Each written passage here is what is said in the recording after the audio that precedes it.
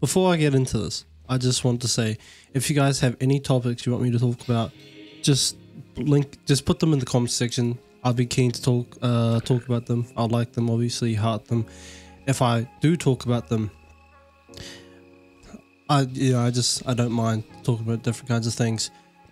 Today, though, I decided I kind of want to talk more about the country that I'm from. You know, the place where I live. New Zealand, or as I call it, Aotearoa. So these are kind of just 10 questions that I seem to see quite a bit. I basically just either searched on internet or just forums and like AI, you know, giving me questions, or you know, just look at Google. I just kind of filtered through some of the uh, questions that I thought were actually useful, I guess. I'm only going to do 10, but if there's more that you want to know, either, you know, you can search it up or just ask me and I'll answer it in the comment section. So, the first question is What's the best time to visit New Zealand? Uh, this is very dependent on your preferences. New Zealand has a temperature climate with mild temperatures year round. The warmest months are December, January, and February, making it ideal for outdoors activities like hiking and swimming. However, there are also peak tourist months. For comfortable weather with fewer crowds, consider visiting during shoulder seasons, March, May, or September to November. So sometime and you know, I mean, it's mostly warm most of the, most of the fucking, uh, most of the year anyway. You'll be, you'll be safe. Speaking of safety, is new, new, bro, I just can't. is New Zealand safe? New Zealand is consistently ranked as one of the safest countries in the world, so you don't have to worry about that. Crime rates are low, and you can generally feel comfortable exploring cities and natural areas alike. However, as with any travel de- destination, it's always wise to be aware of your surroundings and practice common and practice common safety precautions. Even though we are known for being you know, so, uh, friendly. Sometimes you got to watch out for. There's always going to be a bad apple in the bunch. Just make sure you know someone, or you know you trust someone, and just make sure they guide you. You don't want to get into a scuffle. There is still gangs around. It, a crime rate is low, but it doesn't mean you're going to be entirely safe. There's hardly any countries that you know you don't have to ever fear of being touched. Do I need a visa to enter New Zealand? Visa requirements depend on your nationality. Citizens of many countries, including the US and most European nations, can visit New Zealand visa free for stays under three months. It's always best to check the latest information with New Zealand immigration before you trip. I'll just have it in the you know description below because fuck I I don't know what you got. You guys can be from Sweden, fucking Norway, and I have it linked. What currency does uh, New Zealand use? The official currency of Aotearoa is the New Zealand dollar. It is weak as shit. As weak as hell. I'll tell you right there. Our currency is weak as a bitch. So, uh, yeah, you can exchange your currency for NZD before you travel or use ATMs once you arrive. So you don't have to worry about, um, you know, having having having the bag before coming here, you'll be fine. What's the weather like in New Zealand? So New Zealand's weather is known for being mild and changeable. And when I say changeable, I mean, bro, it will flip instantly. It'll go from snowing, hailing, back to sunny in certain areas. Gotta watch out for that. The season's opposite of the northern hemisphere, so summer is from December to February, and winter from and winter's from June to August. So, you know, it's the opposite of, you know, what the US experiences. During Christmas, it's actually pretty damn hot, and we don't see snow. So, uh, if you're coming here for Christmas, don't expect snow. You're not going to be under the mistletoe kissing your kissing your cross. Shit ain't going to happen. Temperatures depend on the region, with the north being generally warmer than the south. Rain can curve throughout the year, so packing layers is recommended. I'll tell you now. where I am, it doesn't rain heaps. but in some places it rains a lot, especially with the cyclones. We, the cyclone that came not too long ago, uh, people are very scared of rain. Uh, they're scared whenever it rains because uh, yeah, we might go through another cyclone. But you'll be alright. You'll be alright. I swear. Uh, can you drink tap water in New Zealand? Yes. Tap water is generally safe to drink throughout New Zealand. The quality is high, and many locals and visitors choose reuse, reusable bottles instead of buying bottled water. Uh, the only places I'd watch out in is probably certain places in Auckland. I used to live in Auckland, and uh, I mean, I don't mind the water, but maybe for some people, yeah. Obviously, there's going to be spots where people are going to have some questionable water, but most, you know, tap water is drinkable. Like, honestly, you'll be surprised at, like, the quality of the water, the tap water. I don't know how people can't drink tap water. Fucking rich bastards. Uh, what are some must-see places in New Zealand? A couple. One of them is uh, Milford Sound, a dramatic, a dramatic fiord in Fiordland National Park, known for its towering waterfalls and rainforests. We've got a lot of rainforests, a lot of mountain, a lot of farmland that you can do. If you go for a drive, just anywhere, you'll probably see something that's uh, you know beautiful. There's a lot of places. Rotorua, a geothermal wonderland with geysers, mud pools, and multicultural experiences. If you do go to Rotorua, keep in mind those geysers, because they're act because um, New Zealand is basically just an active volcano, but Rotorua is known for um, smelling really bad because of these geysers. They they they can literally just act. They can be active at like any time, and it just emits a very very rotten smell sometimes. So um, if you're very sensitive to smells, probably don't go to Rotorua. Queenstown.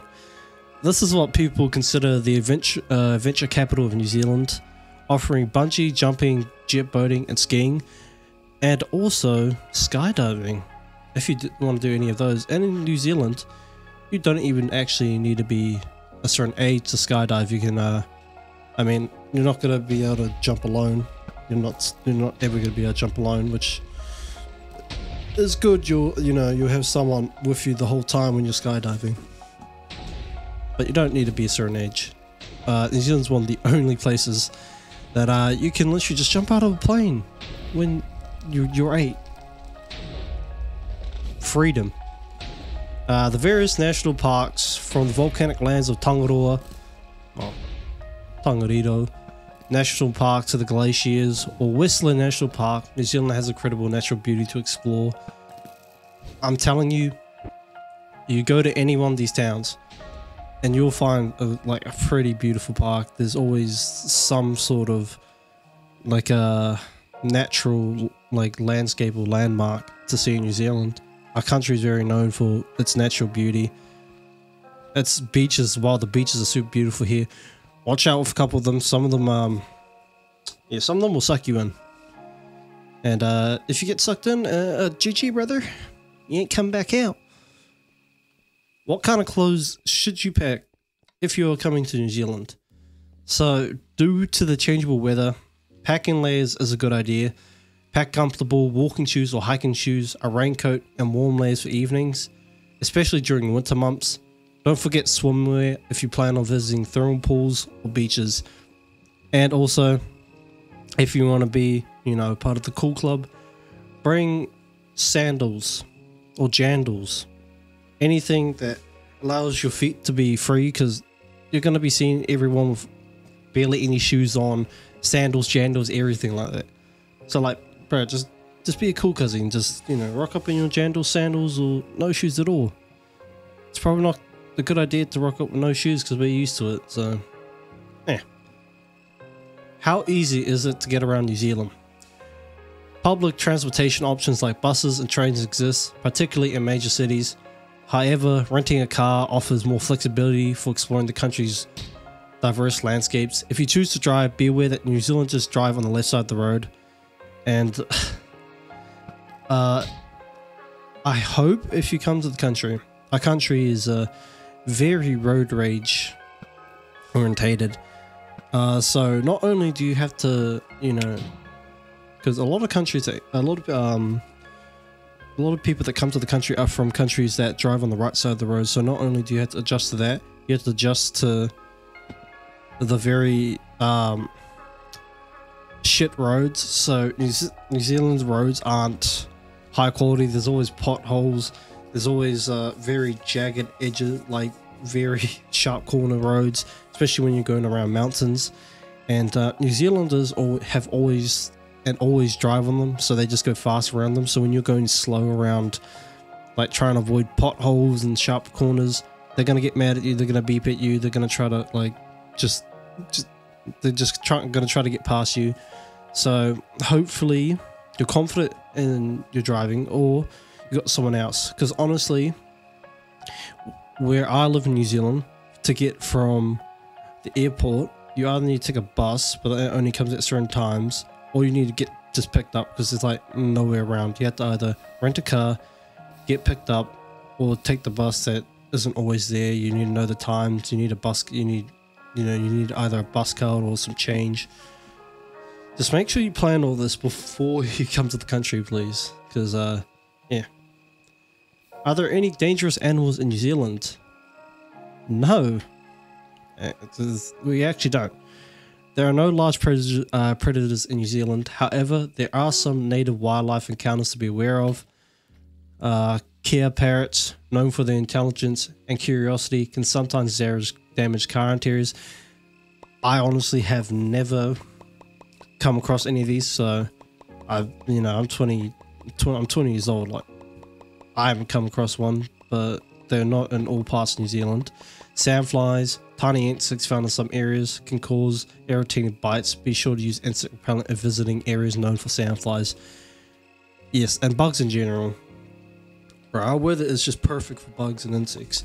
Make sure you bring stuff like bug, repellent, anything bug related. Make sure you have sunscreen and like something. Just, just make sure you just. If you have any like reaction to bugs or insects, you need to have all your shit sorted.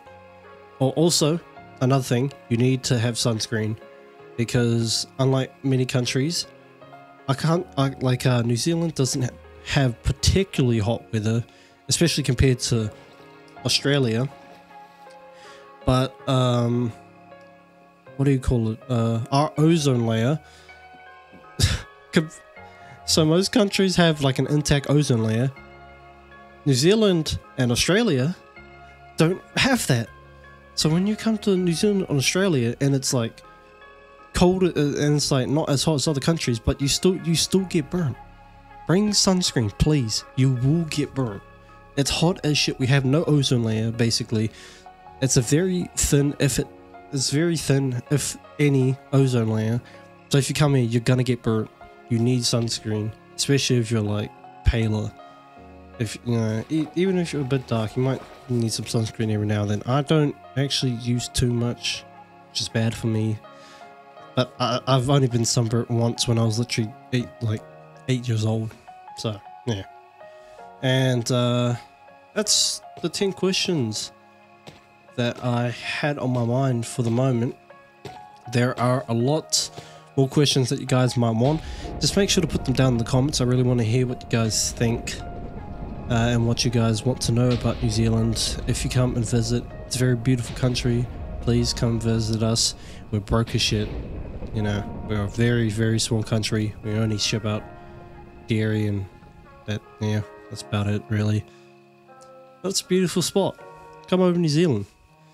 Uh, I hope you guys have a great rest of your day or night, wherever you are, and uh, I love you all. Thank you for watching the video. Peace.